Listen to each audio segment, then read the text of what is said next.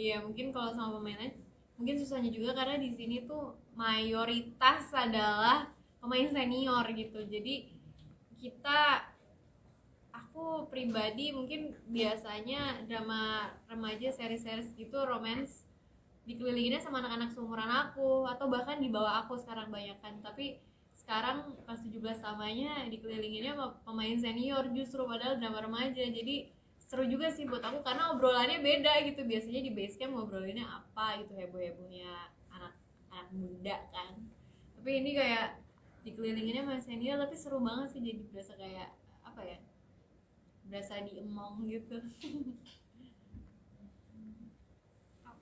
Ada lagi sebelum kita tutup?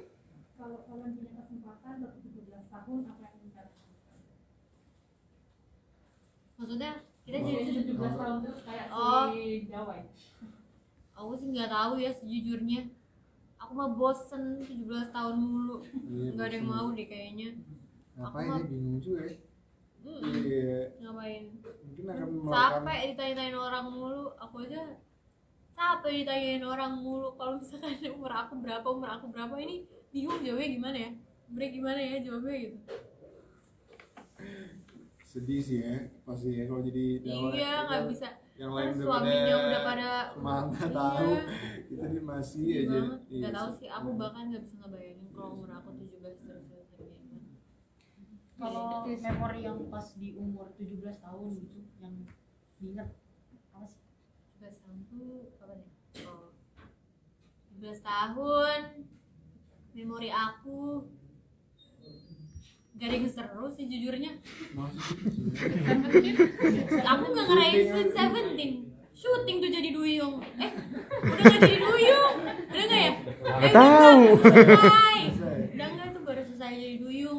Aku lagi jomblo. Nggak Oh. ngapain. Sedih ya malah ya. sedih tuh 17 tahun aku lagi sedih-sedih mulu. Iya, bener. Makanya gak nikmatin 17 tahun.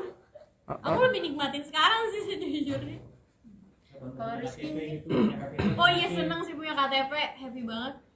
Iya tapi aku kayak baru punya KTP umur 18 tahun Oh. lupa. Aku baru bikin deh kayaknya. Oh. 18 tahun kalau Rizky apa gitu yang diingat di umur 17 17 tahun. udah lama banget tuh kayaknya. Lumayan. Banget ya. 17 tahun ya apa ya?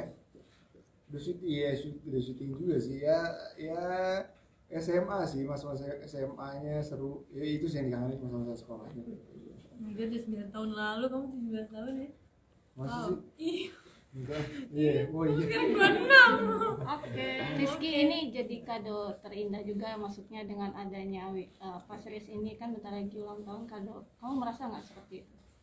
iya senang juga sih maksudnya eh, muncul film ini gitu Iya, sebagai kado di ulang tahun kamu juga kan yang sebentar lagi. Iya senang sih ha, karena ini yang tadi kayak aku bilang nih salah satu yang ditunggu juga Eh, dan aku juga menunggu dan udah banyak juga orang yang nanyain kapan kapan akhirnya bisa tayang juga ya salah satu kado ulang tahun aku tahun ini Kado dari Siva apa? ah belum belum ngasih kado ntar aja gampang Oke, kita sayang untuk interview kedua ini. Yeay.